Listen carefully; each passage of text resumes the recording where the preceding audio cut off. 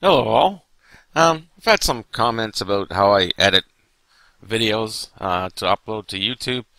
Um, I'll start off by saying I have I'm no expert in any way at this at all, uh, but I'll just step through the tools that I use, and then uh, you can use your uh, creativity to do uh, edit your own videos. Um, first of all, to record audio, I depend more on ALSA and uh, since I'm using Ubuntu, I think this is installed by default, or maybe you have to get the extras. In any case, it's a ALSA mixer and brings up a little console. And I just uh, arrow key over to the, pretty much the end on my system, and I have a cheap microphone plugged in. And the first entry where it says rear mic. I try to leave that low, uh, zero zero, and the boost is uh, 10 dB. And uh, the reason I keep it low is because if I crank this up, I'll get feedback through the speakers. Um, but I can adjust that later, which I'll uh, get into.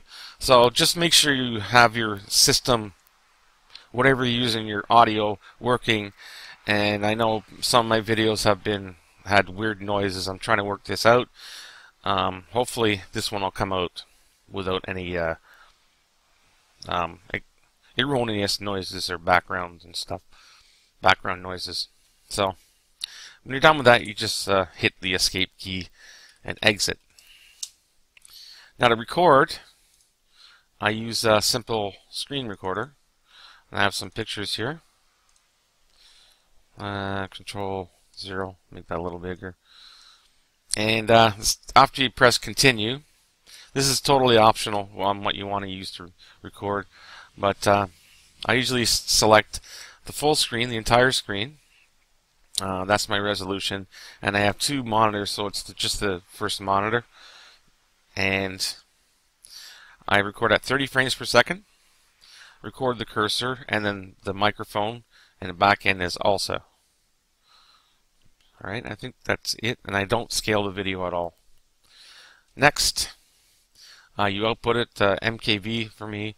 Um, now, if you lower this down, this constant rate factor, I can't do this, it's only a picture, um, to zero, it would output the, like, basically the raw video, which is probably the best way to do it, but um, uh, this is on a solid state drive, so I don't have that much uh, hard drive space. So the default is 23 anyway, so I just left it there.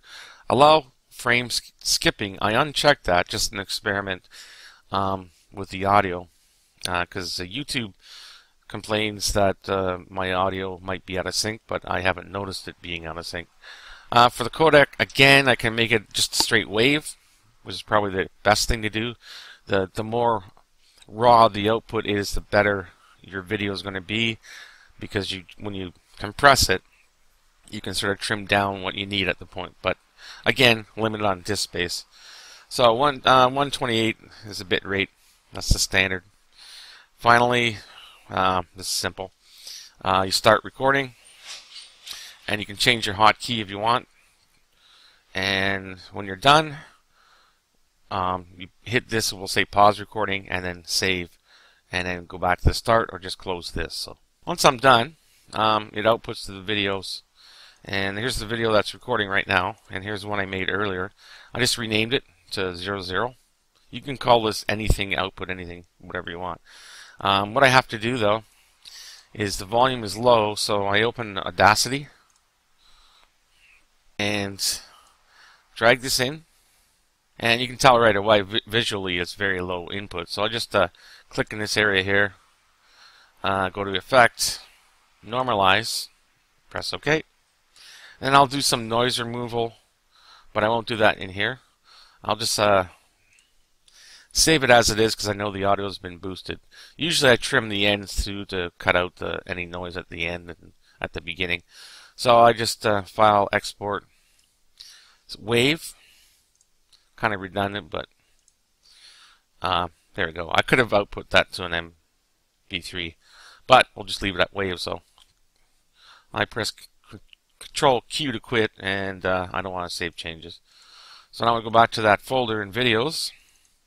Now I have a output 00 wave and an output 00 MKV video. Uh, next up is uh, Kdenlive. That's what I use to edit.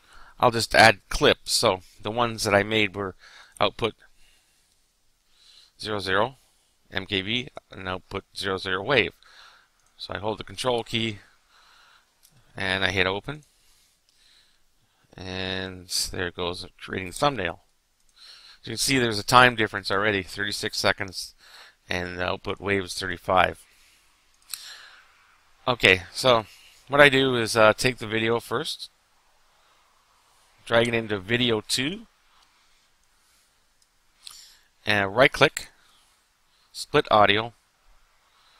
Right click again ungroup clips and then hit this audio here and delete.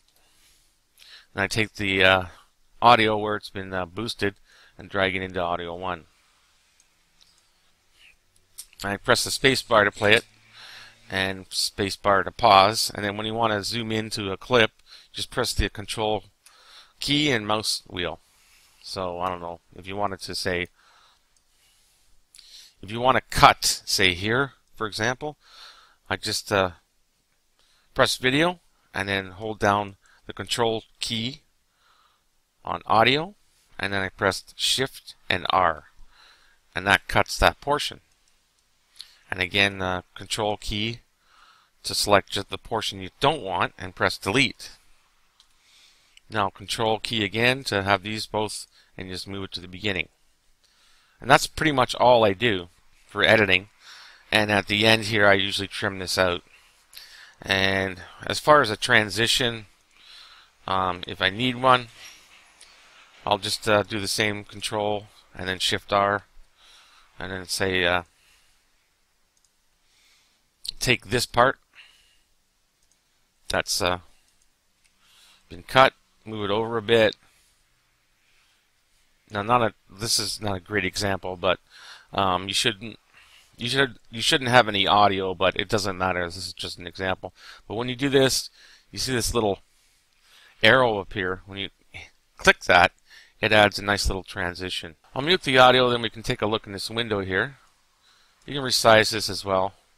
You can actually customize your layout to what you like, but and you can also go full screen, but it's kind of buggy. Okay, so I'll just resize this enough and just hit the spacebar to play. There we go. That was a very, very quick transition, but you could see it though. And it's dissolve, as it's called here in the effects. There. Okay? And uh, I just keep doing that if I need to edit out parts of videos, which I will do with this one and just use it just to dissolve transition uh, just to cut out parts and not be so abrupt. Now if the audio is too low. Uh, sometimes I like to uh, go to the effects list go to audio correction and hit normalize. Double click that and I go sometimes I it's usually about 300 I boost it so 300 enter. And you now see on this first audio portion it says normalize. And do the same thing. Effects list. Double click normalize and 300. Press enter just in case and now it has normalized on the wave as well. You can get really really uh, detailed. You know, like you can zoom in quite a bit. You can see the waveform here is really stretched out. You can see the dissolve um, transition and stuff. And for the odd time, I use uh, captions. I use I, I, reserve video one for that. So you just uh, go to uh, project, uh, add title clip, and test. Yeah, it's way too small. So let's bring that up to say like 70. and the color, whatever. Um, just pick a any color uh, for now. And um, I'll make it uh, bold. And anywhere you, whoops, texts and uh, test. video. And change the font because sometimes it doesn't like, eh, there we go. Anything, and bold, and then hit this one. This to center it across, and to center it up and down. So that's in centered basically. And then hit OK. And here's your title clip. You see it there. You can play it. It's uh, five seconds or so long, maybe five seconds it says. So you can put that anywhere or where you have to. And again, that's a little uh, transition in there. So again, let's just uh, play. And you can see that test video over top. Not a good color. I didn't. I picked the wrong color. But uh, you get the idea, and that's um, pretty much all I do. Like I said, I'm no expert at this. I really don't know what I'm doing, but they seem to work out okay because most of the time the audio is the problem. The video is what I have to work with. But I do like Caden Kdenlive. I think it's really good. Uh, when you have split clips, uh, press the Control and the Home key on your keyboard if you can, and I'll bring you right to the beginning. And uh, when you want to render, um, there used to be a way to download rendering profiles, but this never it doesn't load anymore. There used to be uh, YouTube 1020 1920 by 1080, but it, it nothing happens. It just times out. So I just go to render MPEG 4 MP3 output um, export audio. Uh, you can I have six cores, so it's six here. Rescale 1920 by 1080. Make sure that's and then just hit render to file or first of all put in like something like test and then render to file and you see now it's starting to, to render alright so it finished uh, one minute or so uh, that's because I'm recording and stuff so I can just do cleanup and then close this and if you're working on this you can save it but I'm not going to save it it'll prompt you to save if you want to save the project, I'm going to hit no, of course, because I don't need to. So where does that go? Um, by default, it goes to the Kdenlive folder. And test MP4, so 27 or so megabytes. And the third stage is to open Handbrake, which you can get through uh, PPA. And source, uh, once you've ran this a few times, it automatically will go to Caden Kdenlive. That's the way you have things set up. Press OK. Watch the scaling here. Sometimes it's off, but it's fine here. And first one, I make sure the check is web optimized. Okay, that'll do a bit of a preload for the uh, video.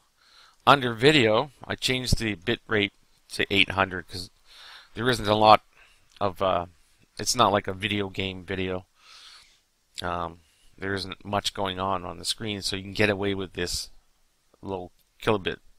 And audio, um, AAC is fine, and but put that down to 128. Back to summary, make sure you have everything checked, and then just hit start. Uh, you can tell it to open it to save to another directory, but videos is fine because it's uh, renamed to an M4V. And hit start, and you see at the bottom it's scanning and then coding and get, it'll give you an estimated time. And we're done. So you can just close this. Go back to your videos folder. There's the M4V. It's 3.8 megabytes. The the original was uh, 7. So um, Handbrake helps to cut down the size of the video and also optimizes it for web, especially YouTube. So you just double click and open in uh, VLC player and I'll mute the audio and make it large screen. Okay? And there we go. That is it. That is all I uh, do. And any suggestions be uh, more than welcome. If you see something I'm doing wrong with Kdenlive or something else, that would be awesome. But uh, that's what I do, and uh, hopefully that uh, helps anybody out that's wondering about video editing in Linux. Okay? So thanks so much for watching. We'll talk to you soon. And bye for now.